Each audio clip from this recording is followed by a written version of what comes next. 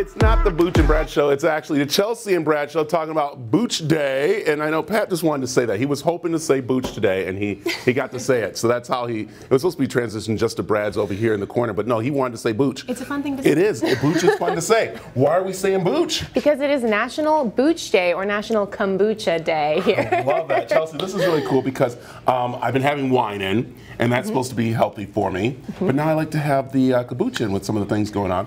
But this is very healthy for us, and that's what people have to understand that this is more and more starting to be something that people are doing the alternative instead of doing the sodas and the mm-hmm. sugary drinks. But this still has some sugar in it. But this wild tonic is pretty cool because they make it easy for you to enjoy kombucha. Yes, we do. So um, kombucha is uh, taking over the health world right now, and really um, over it's really becoming a new um, functional beverage trend. So um, kombucha is really just tea, sugar and a Which is a, a symbiotic culture of bacteria and yeast, and that ferments into a, a beverage that has beneficial acids, enzymes, probiotics, which is good for your digestion, good for your immune system. And um, we are a local Arizona company, woman owned, um, up in Cottonwood. Nice. And we are really excited to uh, share some of our selections with you today. All right. first of all, let's just start right there. I'm sorry, let's go back. Locally owned women Yes. In Arizona. Yes. How'd that come about?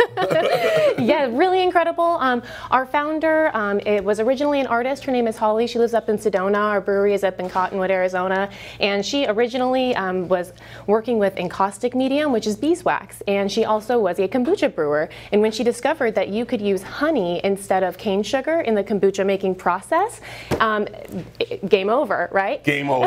and it, com the... it completely changes the flavor profile of kombucha as well. From using yes. honey over sugar. I love it. That's why we need to save our bees. Save the bees, everybody. Save the bees, which yes. is so important. that's important to me because I know I can have some of the kombuchas around because of that sugary that goes into it and stuff mm -hmm. um, when it's all going through.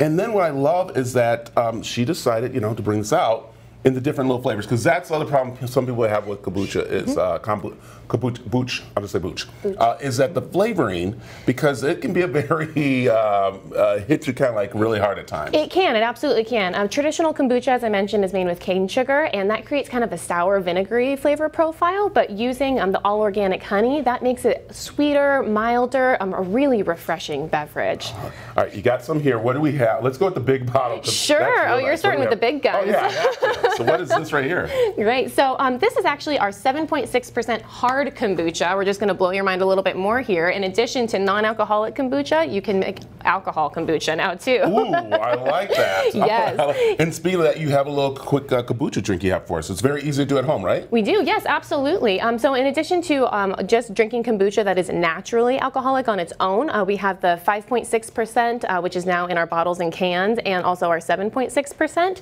You can also do a twist on your cocktail. So instead of using um, a sugar, soda, anything like that, you can use kombucha. And I'm going to show you today how to use a classic non-alcohol kombucha to make a little uh, Moscow Moscow Mule or a mango ginger mule, well, as we'd like to call it. How we do this? Super simple, really super simple. Yeah. So we just add a little bit of vodka. You're going to add in Pour your... all the vodka in there. It's, okay, it's, all right. We'll put Wednesday. the whole vodka. It's, it's Wednesday, Wednesday. morning. We need this. All yes. Right. Yep, there we go. And just a little bit of lime here.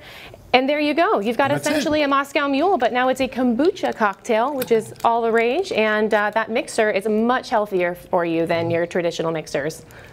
Mmm. Not bad, right? Yeah, nice taster, nice little fizz. I love it. So, yes. where can people find, uh, of course, the uh, Wild Tonic? Wild Tonic uh, is uh, valley-wide. You can find it at Whole Foods, uh, Sprouts, AJ's. Uh, Press Coffee also has us in all of their location around the valley. So we really um, appreciate that support. Well, thank you, Chelsea, for stopping in, and thank you, everybody, for celebrating National Booch Day with National me. Booch Day. Booch Day.